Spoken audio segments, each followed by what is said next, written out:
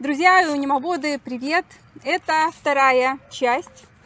Ответы на ваши вопросы, которые вы мне прислали в Телеграм и Униму Татьяны. Для тех, кто включил YouTube сейчас, приглашаю посмотреть первую часть. Ну а мы продолжаем. Ирина Максимова. На разных сортах срезала верхушку. На пеньках появляются молодые розетки замирают и погибают вместе со стволом. Не могу понять, почему. В уходе вроде бы ничего не меняло. Я думаю, что проблема именно в том, что вы не вовремя срезали. Проанализируйте, когда вы срезали. Может быть два варианта. Либо еще ваш иониум не начал набирать силу роста, и вы срезали слишком рано. Либо наоборот, вы срезали слишком поздно. Приведу пример. Обычно я после летней спячки начинаю резать в середине августа. Но я должна дождаться, когда я увижу, что иониум пробудился сам. Потому что если я срежу, а, когда он еще просто сухой палкой стоит, и еще жизненные силы не начали в нем а, активизироваться, да, то есть э, сокодвижение еще не началось, а вы уже срезали, тогда что может случиться? На а, внутренних резервах еще эти почечки появились, а корни, например, еще не заработали. А вы начинаете поливать, корни загнивают. Может быть, это связано не только с тем, что вы срезали рано или поздно, а с тем, что вообще в целом корневая система была плоха. И когда вы срезали, получается, корней нет, листвы нет и резервов нет. Такой вот мой ответ будет вам. Ирина Прохорова, Татьяна, можете дать несколько советов, как содержать иониумы в обычной городской московской квартире, где батареи под окнами выходят на север? Одно окно с лоджией южное, и летом там очень жарко. Можно ли выставлять цветы в таких условиях на лоджию? Если окна выходят на север, то зимой, конечно, у вас недостаток света. Это, это плохо. В Москве действительно недостаток света, но тогда вам нужно э, держать иониумы на стеллажах и досвечивать их. Вот, потому что, с одной стороны, вам нужно убрать иониум от окна, где батарея, да, вы убираете, а с другой стороны, недостаток света, вы пользуетесь лампами. Нужно тогда подобрать свечение такое, чтобы не очень обжигало, чтобы все-таки иониум понимал, что сейчас период роста, а не период э, спячки. Не надо пересушивать и пересвечивать лампами. Половина моей коллекции зимует в моей обычной краснодарской квартире на седьмом этаже. У меня лоджия. Понятно, что, ну, может быть, со стороны кажется не очень нормальным, но даже э, в лютую стужу я никогда не закрываю балконную дверь, э, чтобы э, на балконе моим ионимам было не очень холодно. То есть все-таки поддерживаю положительные температуры. Это что касается зимнего содержания. Что касается лета, то а что плохого, что у вас э, солнечная лоджия, ну, лето период спячки, вы просто прекращаете поливать, они переживают летние месяцы и потом снова пробуждаются осенью. Я не вижу здесь вообще никакой проблемы. Все-таки самое грустное это зима. Вот понимаю людей, у которых нету нету лоджии или нету балкона, а они любят иониумы, а у них только окно единственное с батареей. И что им делать? Вот здесь, конечно, проблема. Здесь я не знаю, что посоветовать. Знаю, что некоторые люди закрывают какие-то делают э, экраны, чтобы теплый воздух с батареи уходил куда-то, направлялся в другую сторону.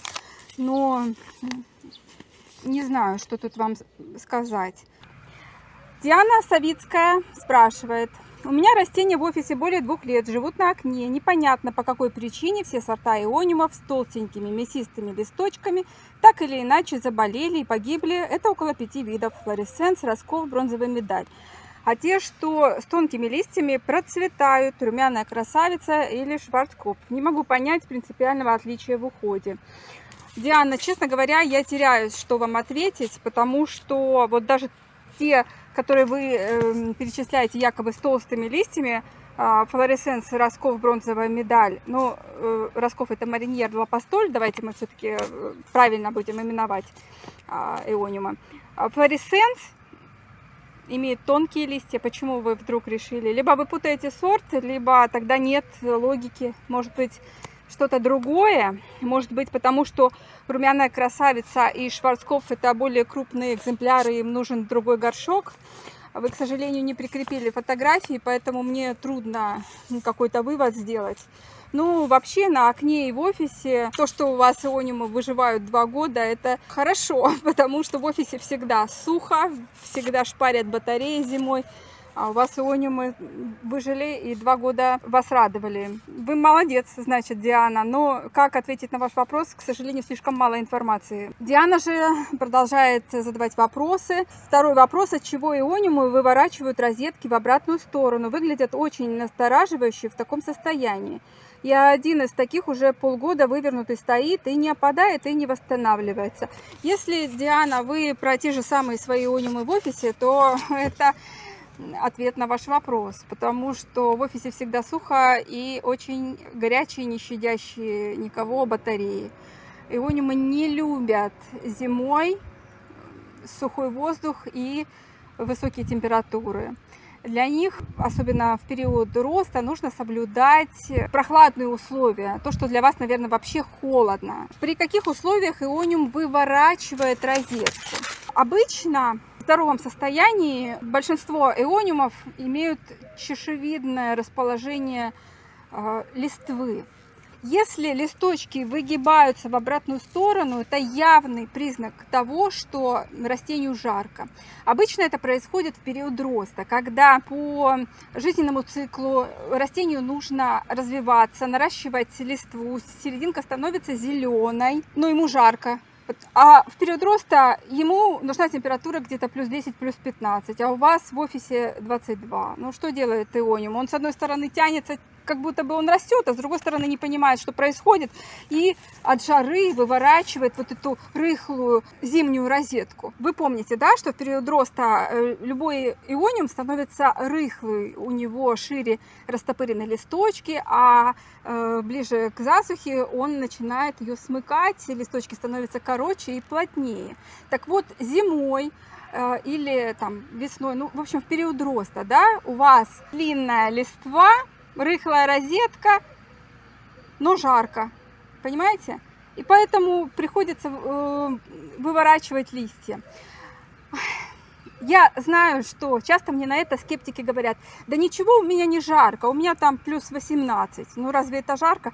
Но это может быть для вас прохладно. А ионимы при 25 уже впадают в спячку. Вы понимаете? То есть если я э, выношу свои растения при плюс 4 на улицу, и они прекрасно э, растут, ну как прекрасно, там тоже есть свои нюансы, посмотрите мое, мое первое видео с ответами на вопросы, да, то есть надо соблюдать все-таки, не, не переморозить растение, но э, все равно он выдерживает низкие температуры, а, а вы считаете, что плюс 17 это прохладно. Нет, это не так. Давайте перейдем к следующему вопросу. Татьяна Татьяна. Гоблин за зиму черенок хорошо укоренился, разросся. Весь такой хороший, лохматенький, упитанный. Детки, детки уже сантиметров по 4-5.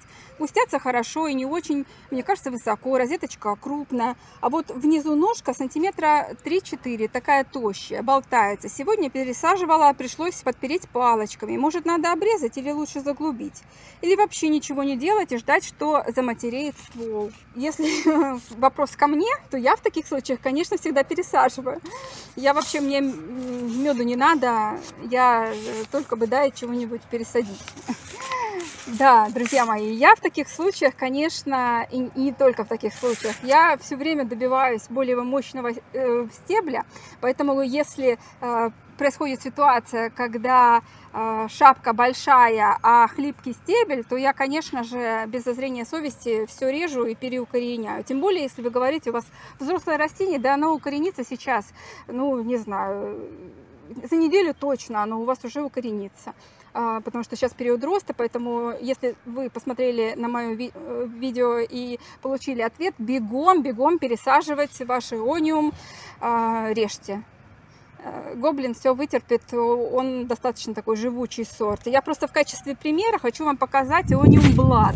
Это красивейший сорт, у него такая э, мелкая розетка, кругленькие листочки. Но взрослым я это растение никак не могу добиться, чтобы оно было привлекательным. За несколько дней до записи этого видео я как раз таки сделала то, о чем сейчас вам советовала.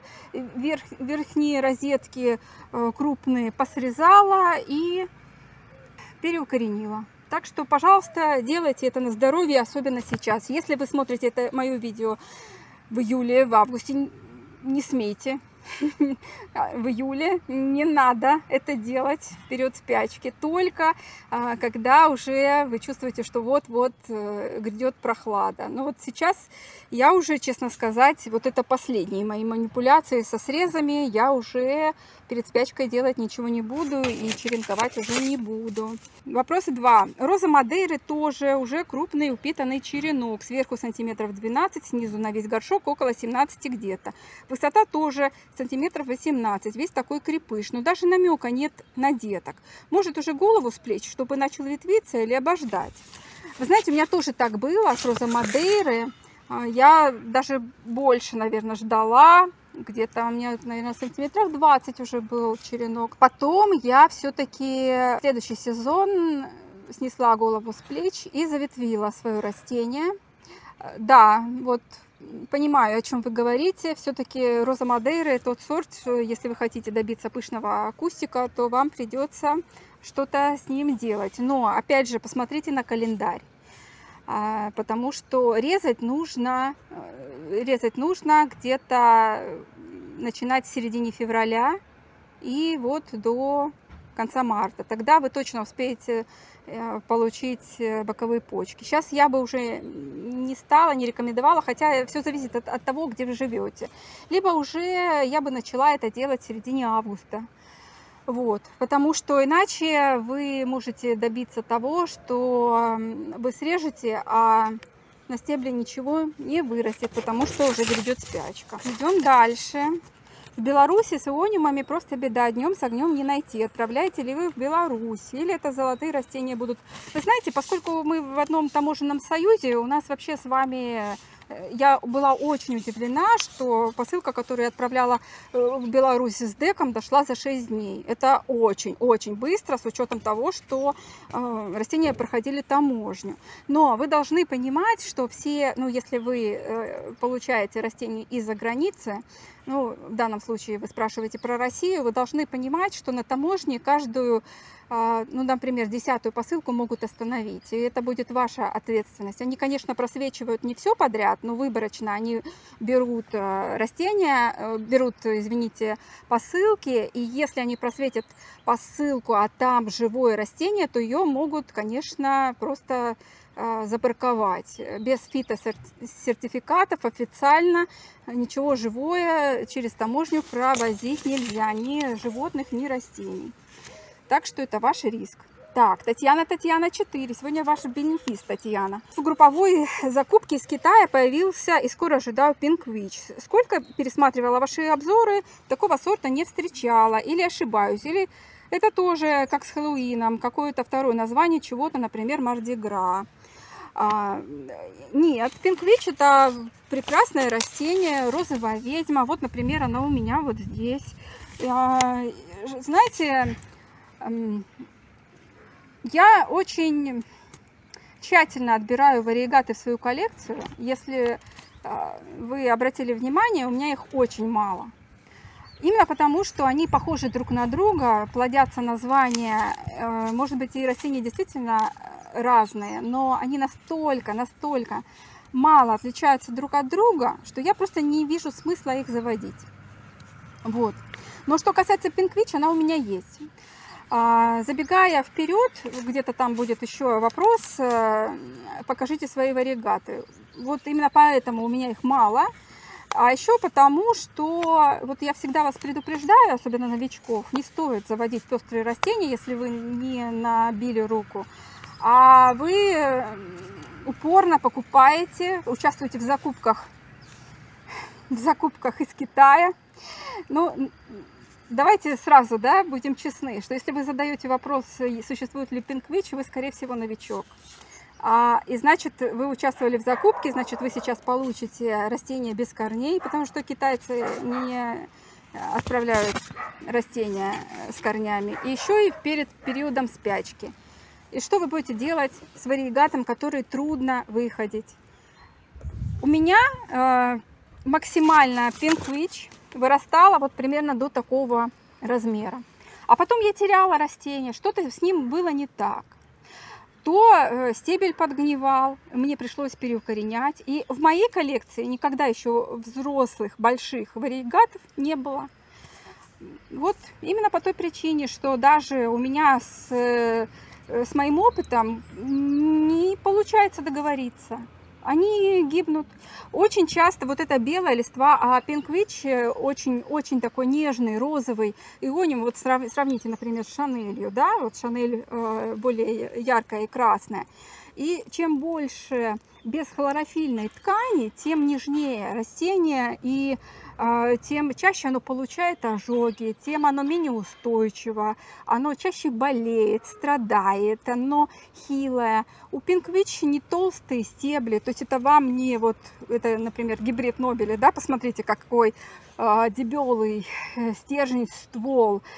У пинквич совсем не так, у него тоненькие стебли, он часто изгибается, ветки отламываются. Вот у меня сейчас Э, те розетки укоренены, которые я разобрала из э, более или менее э, своего взрослого куста, который норовил умереть. Я его спасала, поснимала розетки. И вот, если вы обратите внимание, сейчас эти розетки ветвятся, но это еще далеко не взрослые растения.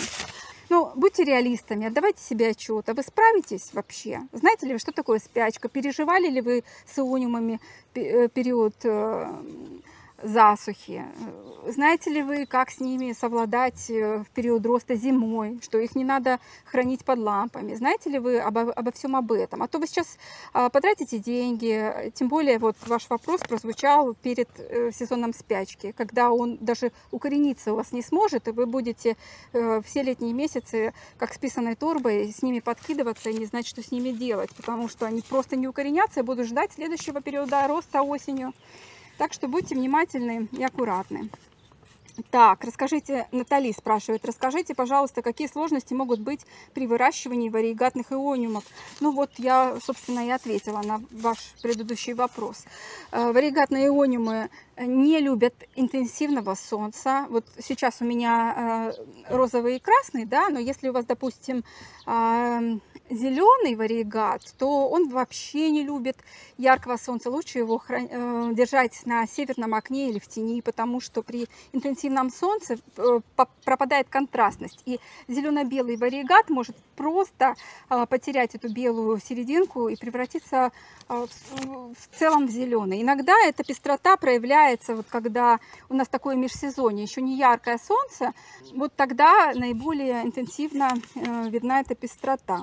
Ну, про болезни я уже вам сказала. Давайте мы сегодня на этом снова сделаем паузу, потому что ваши вопросы остались, а мне есть что на них ответить, но чтобы видео не было слишком длинным и вам не было очень скучно, давайте встретимся в следующий раз. Это канал Ионимы Татьяны. Пока.